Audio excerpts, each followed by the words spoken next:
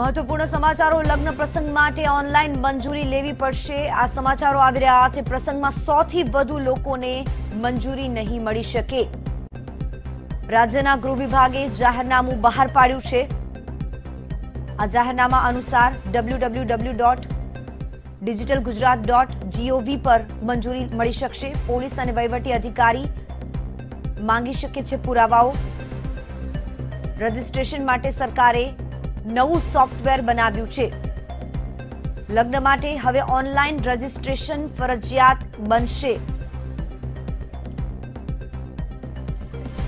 સંવાદદાતા વિરેન મહેતા જોડાઈ ગયા છે. વિરેન, આ પહેલા મંજૂરી નહીં માંગવી પડે લગ્ન માટે તેવી સરકારે જાહેરાત કરી અને અત્યારે અચાનક આ નિયમ બહાર પાડવામાં આવ્યો છે. શું છે વધુ વિગતો? ચોક્કસ.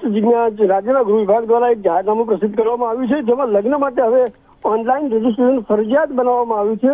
પહેલા સરકારે લગ્ન માટે મંજૂરી નહીં લેવી પડે તેમ જણાવ્યું હતું.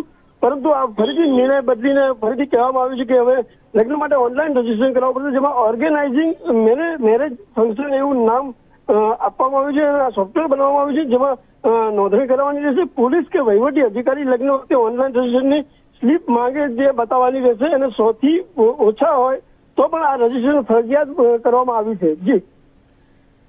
વિરેન, આ શક્યતાઓ કેવી રીતે પ્રબળ બની શકે? કારણ કે હવે લગ્ન સરાની સિઝન શરૂ થઈ ગઈ છે. આવા સમયે લોકોને આમ ઓલરેડી પ્રોબ્લેમ આવી રહ્યા હતા. વધારે આવશે આ નિર્ણયથી એવું લાગે છે? ચોક્કસ. જે પ્રમાણે સરકાર વારાફરતી વારાફરતી જે જાહેરનામા બહાર પડે છે જે સુધારા કરે છે તેને ચોક્કસ પ્રજામાં એક અસમંજસ સ્થિતિ ઊભી થાય છે. અને આ નિર્ણયથી પણ પ્રજામાં ચોક્કસ એક અસમંજસ ઊભી થશે કારણ કે જે કોવિડ નાઇન્ટીન જે ગાઈડલાઈન છે તે હજુ પણ કેટલાક લોકોને પૂરેપૂરી ખ્યાલ નથી હોતો. અને તેને લઈને પણ લોકો વિમર્શમાં મુકાતા હોય છે.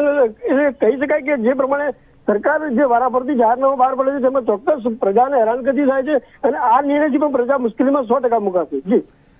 આભાર તમામ જાણકારી આપવા માટે. તો આ એક નવું જાહેરનામું બહાર પાડવામાં આવ્યું છે. સો લોકોની મંજૂરી મળી શકશે, જે પહેલા પણ મળતી હતી. પણ તેની સાથે સાથે આ નવી વિટંબણા બની શકે છે. કારણ કે જે ઓનલાઈન રજીસ્ટ્રેશનની વાત આવી રહી છે, જો ગામડામાં પણ મેરેજ થતા હશે અથવા સિટીમાં મેરેજ થતા હશે અંગેનું હજી કોઈ ક્લેરિફિકેશન નથી મળ્યું. પણ આ વેબસાઇટ જે અલગ અલગ સોફ્ટવેર ડેવલપ કરવામાં આવ્યું છે, ગૃહ વિભાગ દ્વારા, તેના પર સ્પેશિયલ નોંધણી કરાવવી પડશે અને ત્યારબાદ લગ્નમાં તમે જઈ શકશો એટલે કે લગ્ન કરી શકશો.